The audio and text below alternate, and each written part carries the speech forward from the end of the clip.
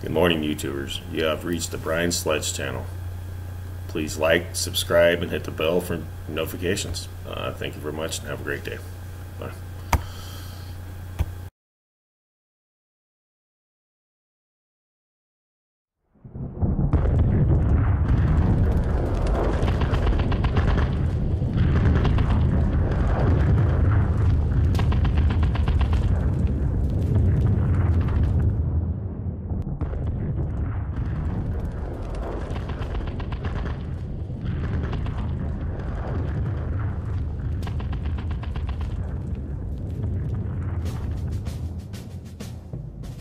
On active duty, I was an aircraft maintenance officer, and in the Guard, I was a combat search and rescue helicopter pilot. What types of discrimination did you face? Um, as an aircraft maintenance officer, I had a commander who the first thing he ever said to me right when I met him was that when my time of the month got in the way of my job, he was going to fire me and replace me with someone else. That was kind of how I started my aircraft maintenance career. Yeah, there was an, an aerial gunner, so it's a position in our in our aircraft um, on my first crew in Afghanistan, who said he didn't want to fly with a woman because he didn't think I could um, handle myself or carry carry my own weight, so to speak, um, in an evasion scenario. So being a helicopter pilot, you know, you're really close to the ground, and you know, there's a chance that you could be shot down, and you know, on the ground and, and having to evade the enemy. Um, it didn't really make any sense because I had been through survival training, and that's the survival, evasion, resistance, escape, which is very intense training, and did just fine. In fact, I was in command of, uh, I was uh, second in command. So when they split the group in two, I was in command of half of the group. So it didn't make any sense, and and I, and I also, you know, I, I talked to him about it, and, and I was like, I don't, I don't understand why you would think that I wouldn't be a good part of the team. I've demonstrated that I can I carried the same exact pack, really heavy pack over the mountains that you carried. You know, I'm, I'm an expert marksman with my rifle and my handgun. I have been studying, you know, the local vegetation. I know what we can eat. I know where to find water. I've even been picking up a little bit of the language. Why wouldn't you want me on your team? You know, and he just couldn't um, specify, you know, why he didn't think I would be able to carry my weight. But that's why repealing the ground combat exclusion policy is so important because having a policy that says that bars women from being in combat sends a message to our troops that women aren't fit for combat. And, you know, he can he can take that discriminatory behavior and say, hey, I'm not, you know, it's something personal. I'm not trying to discriminate.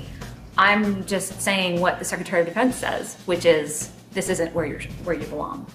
So that was uh, difficult to overcome. I did end up flying with him, and in 2009 we were shot down I, he wasn't on my crew, but I was shot down with a different crew, and we were in a ground combat scenario, and I absolutely held my own and you know fired back at the enemy and maintained my composure. And I was actually the only one hit, so I was also kind of covered in blood, and I was totally fine. I'm literally at this point shoulder to shoulder with special forces, literally watching each other's backs, um, and just a part of the team. So I kind of disproved disproved his theory that I wouldn't do well in a ground evasion scenario.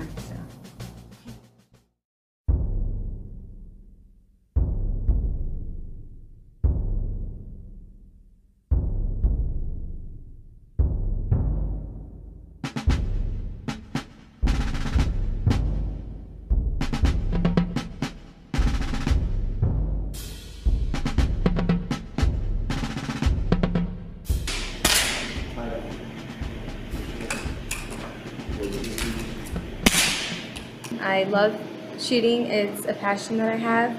It's a lot of fun. I remember the first time when I shot, I was shaky, a little worried and intimidated because I was the only girl along with my friend. And once I shot, that feeling of release was just amazing and I loved shooting from then on. I worked hard and being a freshman, I have the black rifle, which is really special.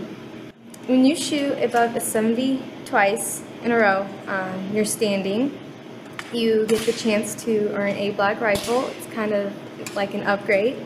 All the upperclassmen have it, and I always wanted one, and there's currently three freshmen that have one right now, so I'm happy. Um, women in the military, you shouldn't be afraid. If you're a woman, go out there and have fun.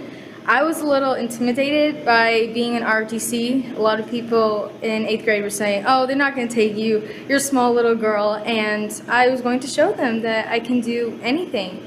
Um, girls are very powerful, and you give them a rifle, they can shoot very well. We're very determined, and we are able to push on tests, and it's very nice being being a woman and being in ROTC.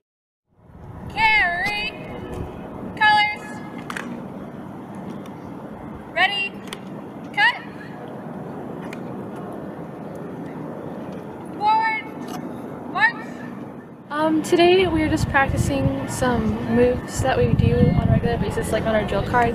There's no like differentiation between males and females, like, cause we're all kind of like the same. Like we're all treated the same. We're not treated any different than the males are.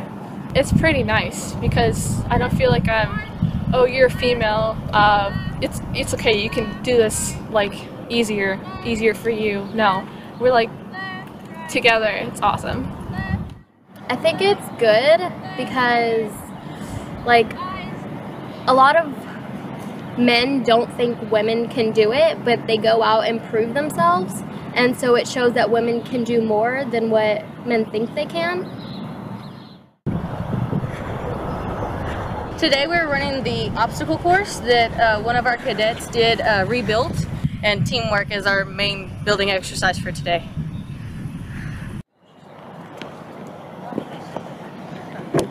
There we go. There we go. Feet out forward.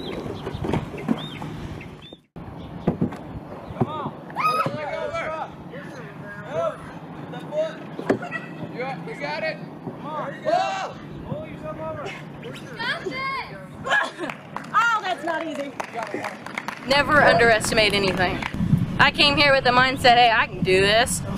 Kicked my butt, but I got up and I kept on rolling. And really, no matter what, if you're a, women, a woman, you have asthma, you have a heart murmur, you know, there's nothing you can't do, really. You, you just got to set your mind to it. You, just, you can do it. You're awesome. You're a woman, you know? You're, you're so different. You gotta make you gotta make it who you are, really.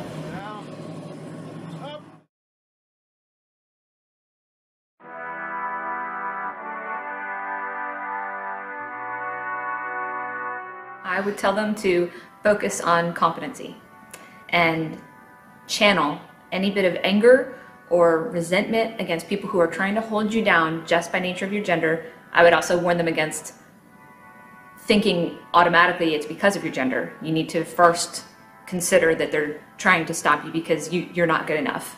And, and once you can answer that question for yourself and look at yourself in the mirror and go, no, actually, I'm, I'm good enough and I'm doing the job, it's the last thing that you should expect.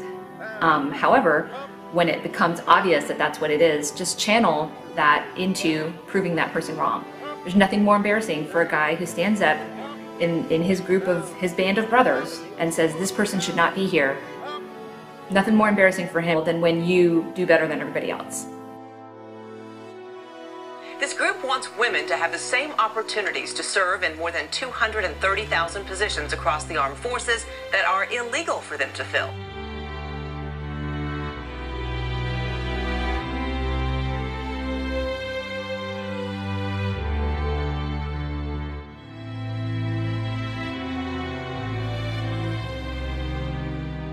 Because I care about the world your daughter is going to grow up in. I want her to grow up in a world where she's not limited by her gender, she's only limited by her qualifications or lack thereof.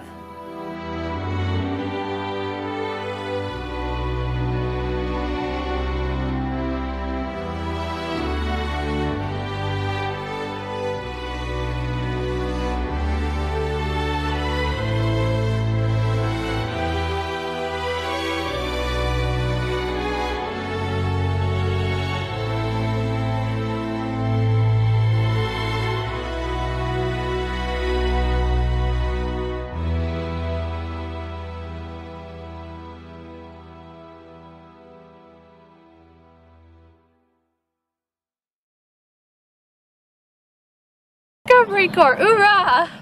Awesomeness.